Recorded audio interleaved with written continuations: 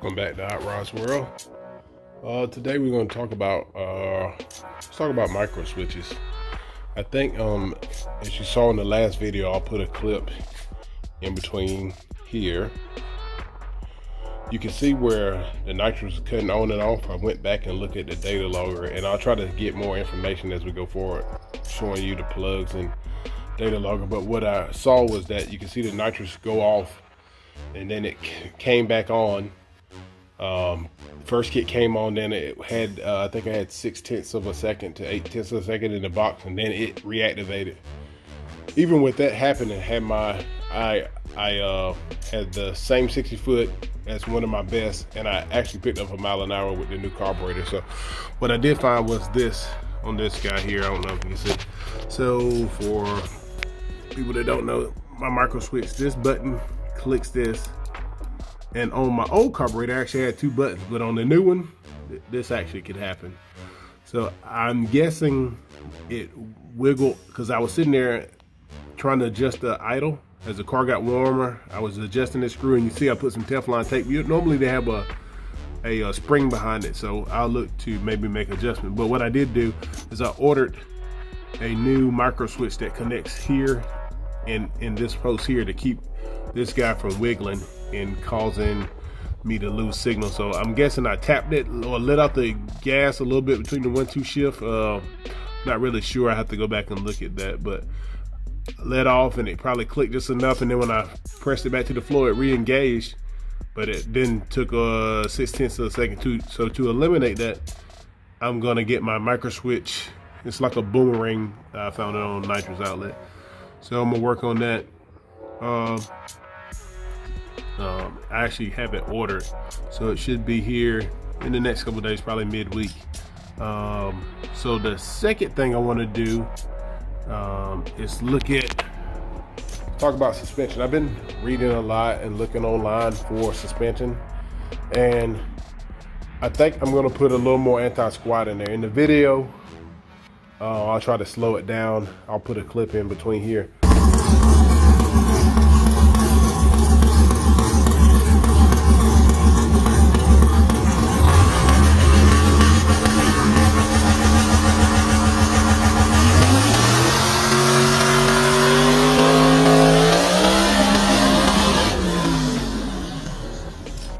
See I had a little, uh, some anti-squat. I had some separation, but I remember when I did this a while back, um, that I only had like a 120% anti-squat. And looking online, I, I, think I watched a couple videos uh, Turbo John put up.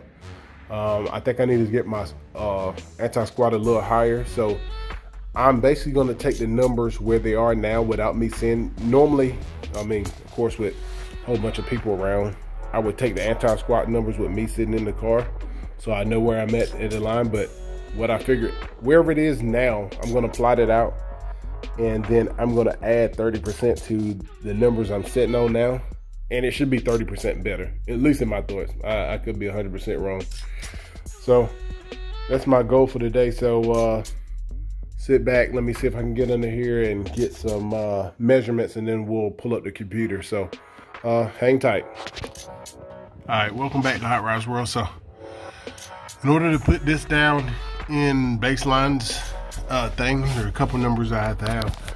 I have to get this, the middle of this boat to the ground, the front boat to the ground, this uh, upper, my uppers, I have the relocation upper, if you can see here.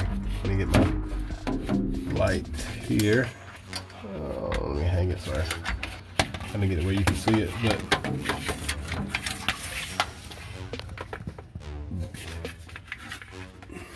I got to go here and get this bolt right here.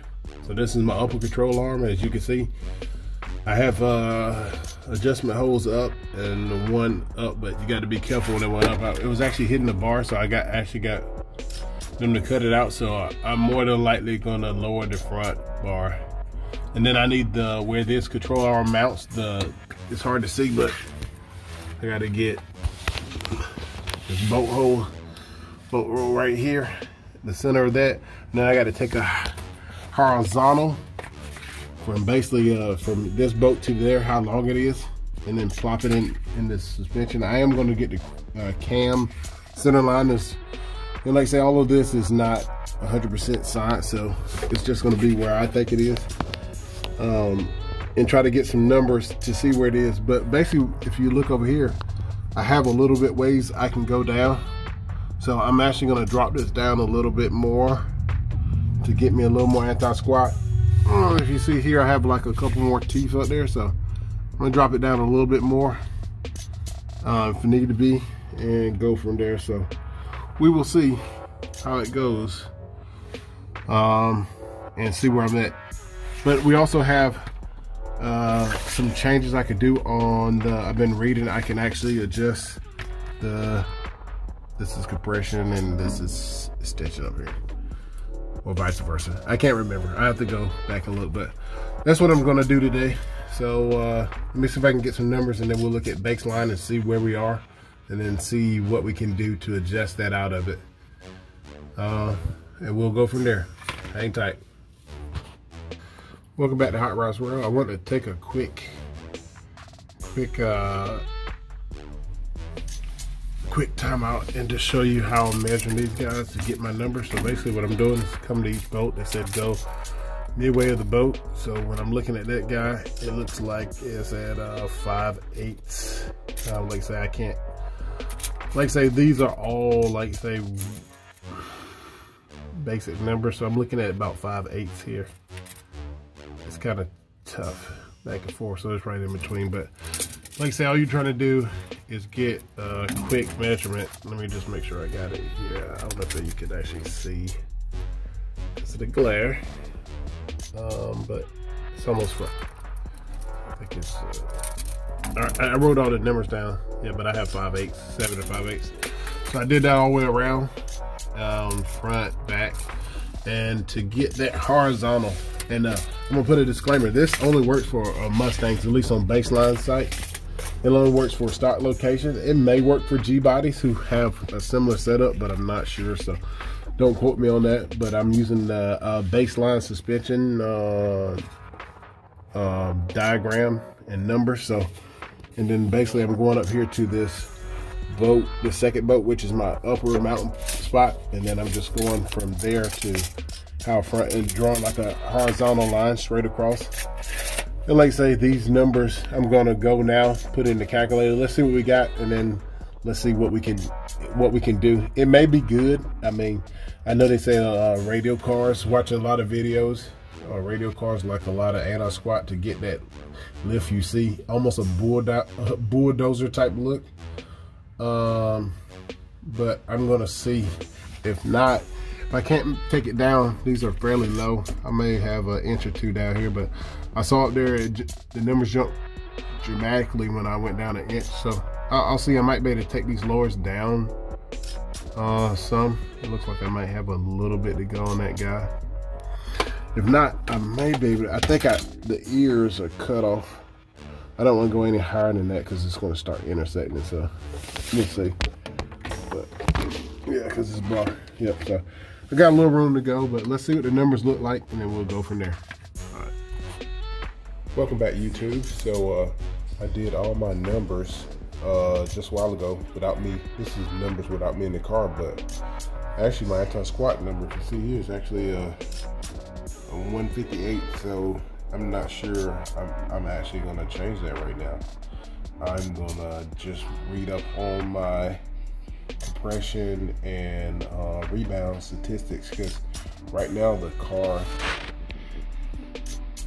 it's about a 117 60 foot, um, which is pretty good for a heavy car. I want to say I'm in the 3100 pound range, so it, it, moves out pretty good and it barely picks the tire up. So uh, right now, until I get some more testing, um, these right here numbers help me reassure that uh, I don't need to change it. Like say, if you look up here. Um, uh, it says uh, measure, you know, control length is not actually uh, actual length, it's projectile, and uh, he wants to make sure this this particular diagram is from baseline suspension. So if you have a Fox body, uh, 74 through 2004, or uh, New Edge or SN95, all those chassis platforms can use this baseline suspension. So I plugged in my numbers and this is kind of what I get, which is pretty good, I want to say. Um, most people say I need to be in the 100, 150 percentile range, which I'm at 158. Of course, these numbers are going to go down a little bit when I sit in there.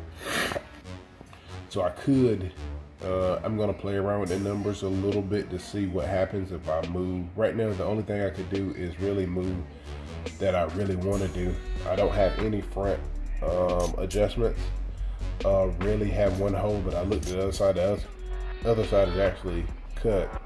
Um, I can lower this bar bottom bar down, so I'm gonna lower that now and see what number if that goes up um, and how much. I may lower this bottom uh, number down, and these are all based on numbers without me having to physically raise the car, which I don't. I kind of like the staggered look there, and that's why we buy the the control arms within those control control arm mounts for adjustments so we can get the ride we want and then get still get a good anti-squat because if this was factory these numbers would I would have to have a car up in there like a tractor but uh, luckily uh, these are where I'm at so um, right now just want to make a quick video on anti-squat and where my car sits at right now um, but like I say uh, I'll have some more when my part comes in for the uh, activation switch. We'll do a little quick video on that. So comment, like, subscribe, and I'll see you next time.